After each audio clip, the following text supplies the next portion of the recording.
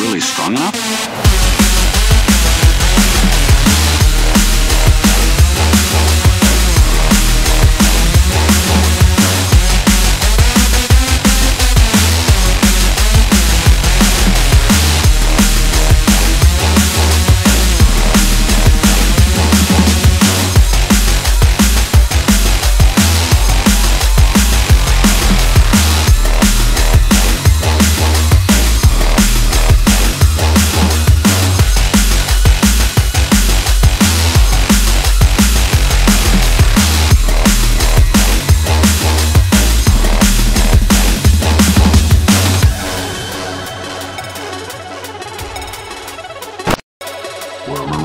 on a small island in an endless sea,